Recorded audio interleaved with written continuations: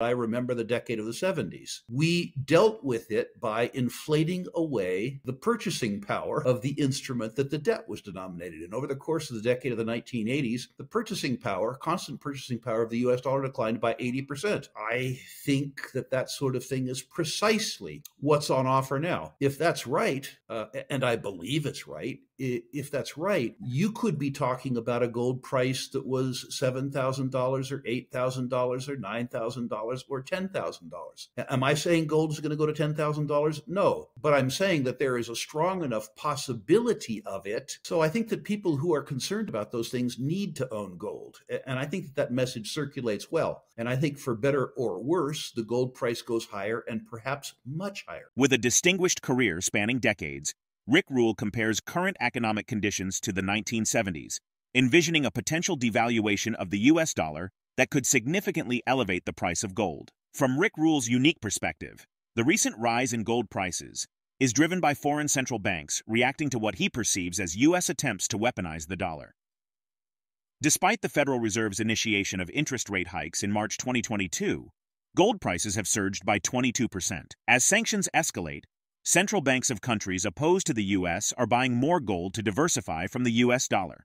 Limited gold supply due to stagnant production is also fueling this trend. Central banks now purchase the highest amount of gold since records began in 1950, constituting 33% of monthly global demand. According to Bloomberg, China has added to its gold coffers for 16 months in a row. Its central bank relentlessly diversifies its reserves into gold and out of the U.S. dollar. In February alone, the PBOC added 390,000 troy ounces of gold. It holds 73 million troy ounces, or 2,257 tons of gold. Of that amount, the central bank bought 1,034 tons just in 2003. Considering Rick Rule's viewpoint, he highlights China's promotion of gold as a savings avenue, contrasting it with retail buying patterns in the U.S. He also notes gold's impressive performance, particularly when assessed in renminbi, However, Rule anticipates that recent U.S. policies have left foreign central banks questioning their heavy dependence on the dollar and U.S. Treasury securities. This is evidenced by China's reduction of U.S. Treasury bond holdings to $775 billion, reflecting a broader trend of selling off 40% of its U.S. Treasury holdings over the past decade. Concurrently, Rick implies that this discomfort is steering them towards exploring alternative assets, with gold poised to reap significant benefits. Now, we present the clips of Rick Rule's insights from his recent interview with ITM Trading Incorporated. Before we continue to delve into this discussion, please subscribe to our channel and activate the bell icon for timely updates. The statistics would seem to indicate that the recent strength in gold, and by recent I mean the last two years, has been more a function of central bank buying than retail buying, even in China. The Chinese market, and to a lesser extent the Indian market, uh, has seen more retail buying than the US market, which has in fact seen retail selling.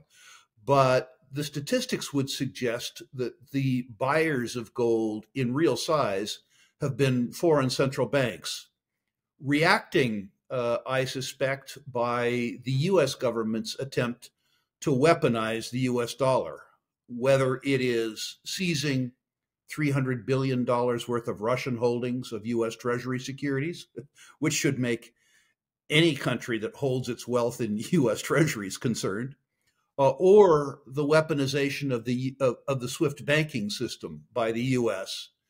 Uh, to reinforce sanctions. Whether or not, as an American, you agree with those policies or not, they're disquieting uh, to foreign central banks who have suddenly come to understand that denominating all of their foreign currency transactions and their national savings in US dollars and US Treasury securities is not a good thing. Um, with regards to the difference between Chinese buying, that is, Chinese retail buying, uh, and US retail buying, the Chinese government has an official policy of encouraging their savers to save, uh, among other things, in gold.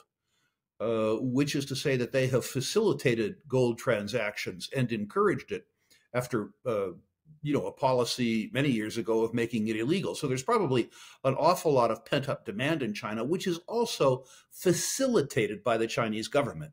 And as you say, the weakness uh, in the renminbi has meant that uh, while gold has done well in US dollars, it's done very, very, very well. Gold has traditionally been both a store of value and a medium of exchange. That's important to understand. While it doesn't provide a yield like US treasuries uh, in terms of being a savings instrument for the Chinese central bank, uh, it provides them more security of principal than other currencies of trading partners that they may have, the Russians as an example, or the Chinese.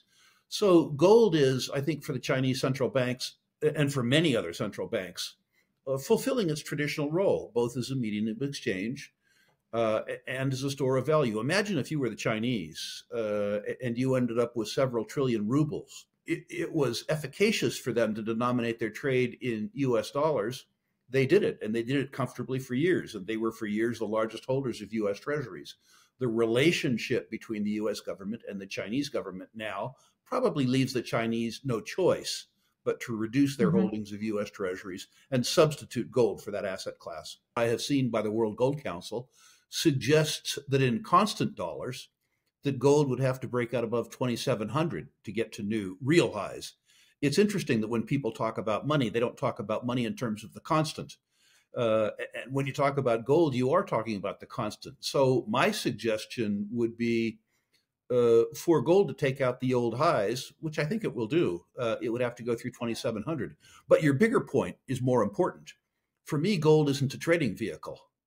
Uh, for me, gold is a store of wealth, a medium of exchange, liquidity, uh, and insurance.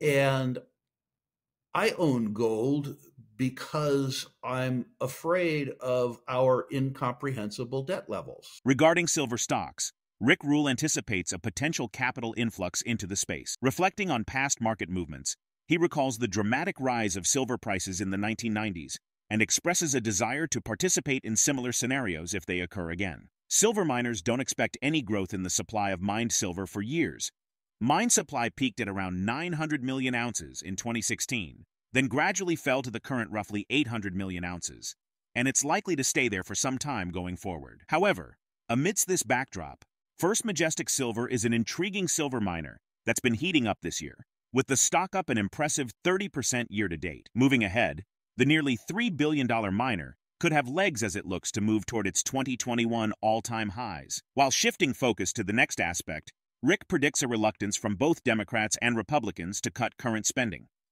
He foresees this leading to the devaluation of the U.S. dollar, consequently affecting savings products down the line. Let's get back to the interview. What I told people about silver was that traditionally silver followed gold, that gold needed to move, that the the narrative needed to be established by gold, and then silver would follow through. What I tried to say in the interviews that I think you're referring to were that the silver stocks were truly a coiled spring. Mm. Uh, there was so much hate around the silver stocks, uh, probably as a consequence of their fail during the 2020 and 2021 silver squeeze. Uh, and silver and the silver stocks certainly built up a lot of jilted lovers, uh, young jilted lovers, uh, particularly passionate ones in 2020 and 2021. The consequence of that is that the silver stocks got way, way oversold. Uh, in my career, uh, that's happened three times before, uh, and I'd adore to see it happen again. Uh, I own gold or physical bullion, I guess, as insurance. I own the silver stocks as a speculator, and describing them as coiled springs, uh, I think is really accurate. There is not enough market cap uh, in the legitimate silver stock space to handle the capital that will come into the space if the generalist investor buys into that narrative. I, have seen that happen before. I remember the early part of the decade of the 90s, that move in silver, when things like Pan American silver went from 50 cents to $45, silver standard from 72 cents to $45. I'm not saying it's going to happen again, but I'd sure like to be part of it if it does. I don't see the Democrats uh, having any interest in reducing current spending. And I don't see the Republicans having any interest in reducing current spending. The Republicans might be in favor of a tax cut, but a tax cut without a spending cut is only a tax deferral. you have to borrow it or you have to print. I think it's absolutely inescapable that to the extent that we build up more US dollar obligations, the only way we finance our way out of it is to devalue the US dollar. And we're we're not devaluing the US dollar against other currencies because they're doing the same thing. I don't know the quantum, but I do remember in the decade of the 80 the decade of the 70s, pardon me, that uh, if you go from 1970 to 1980, the constant purchasing power of the US dollar declined by 80%. And I suspect that that's what's going to happen to the holders of US dollar denominated savings products in the next 10 or 15 years. The allure of gold has been further enhanced by a weakening dollar and diminishing treasury yields, rendering it more appealing to international investors. However, the short term trajectory of gold remains intricately intertwined with expectations surrounding interest rates. As central banks increasingly turn to gold and reduce reliance on the US dollar, how might this reshape individual investor strategies? Drop your thoughts in the comment section below. If you find this video informative, don't forget to support our channel and turn on notifications to stay informed about our latest videos. See you in the next video.